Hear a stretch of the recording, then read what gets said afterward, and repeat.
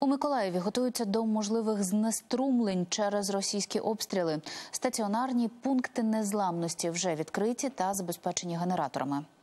Місцева влада запевняє, врахували досвід минулорічних відключень і мають запасні варіанти, як от розгортання мобільних автономних надувних наметів. Подивимось.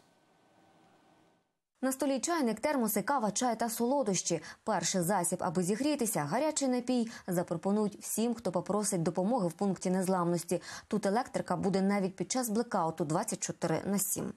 Це бензиновий генератор, дизельний. Для них є окремий домик, будиночки на вулиці для того, щоб вони виносились. Цей генератор виноситься вручну, все вивозиться. Торік цей пункт незламності також працював. Тоді найчастіше люди приходили підзарядити гаджети. В тому році були різні випадки. Багато переселенців з Херсону приїжджало в наш пункт для того, щоб просто обігрітися, перезарядитися і отримати якусь інформацію. Багато студентів приходило у нас, здавали екзамени, тому що тут було світло. До автономного електроживлення можна підключити обігрівачі, мікрохвильовку, телевізор. Особлива увага дитячій зоні у спеціальному куточку для найменших іграшки та книжки. Це ми зробили імпровізований пілінальний столик для того, щоб матусі з маленькими дітьми прийшли і теж почували себе зручно.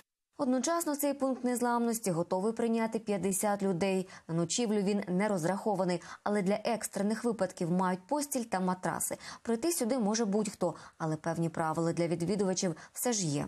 Людина повинна бути хайна, людина повинна бути твереза для того, щоб звернутися в пункт незламності, тому що тут перебуває багато чужих людей одночасно і є діти. Для того, щоб всім було комфортно, треба дотримуватися окремих правил. Загалом у Миколаєві вже розгорнули 27 пунктів незламності на базі комунальних установ. В разі необхідності на поготові і мобільні.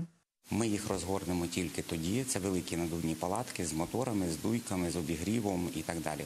Якщо буде дійсно дуже великий локдаун, де не буде електроенергії, опалення е, і так далі, включаємо всі генератори і створюємо ще й такі, розгортаємо. Таких пунктів ми можемо розгорнути 14. Пунктами незламності вже можна користуватися. Планується, що вони працюватимуть до весни. Марина Михайловська, Павло Ткаченко. Новини телеканал Інтер. Марафон Єдині новини.